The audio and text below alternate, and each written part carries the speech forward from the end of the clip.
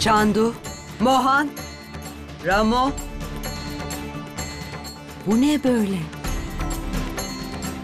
Bana bakın. Bu evin hali ne böyle? Bu ne hal? Ne oldu burada? Siz ikiniz neredeydiniz? Bugün düğün var. Ne yapacağız? Ne olacak? Cevap verin. Size diyorum. Divya, ne oldu? Ne var? İçcan'ın gelinliği yanmış.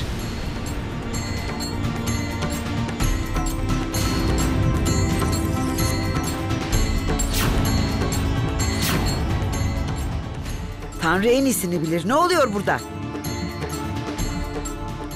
Ne oldu abla? Bu ne uğursuzluk böyle. Tanrı en iyisini bilir. Düğün olacağına gelinliğin cenazesi oldu.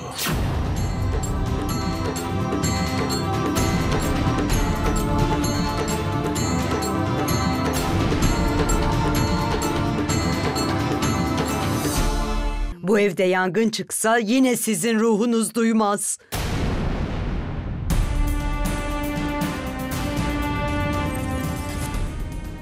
Neden, neden, neden susuyorsunuz? Söyleyin bunu kim yaptı? Divya bak olan olmuş artık tamam mı? Şimdi bağırmanın bize hiçbir faydası yok. Biz hemen bir şekilde başka bir duvak bulmak zorundayız. Ama ama bu duvağı Ecmer'den sipariş etmişlerdi. Divya, olan oldu artık.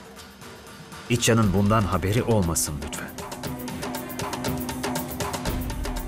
Beni dinleyin şimdi. Kimse bu konuda ağzını açmayacak. İçcan'ın yüzünde hiçbir üzüntü ifadesi görmek istemiyorum. Merak etme. Ben bir şekilde bir duvak bulacağım. Tamam mı? Peki tamam. Ben de bunu terziye götüreyim ki belki benzer bir şey buluruz. Gerçi asla aynısını bulamayız. Tamam. Alo.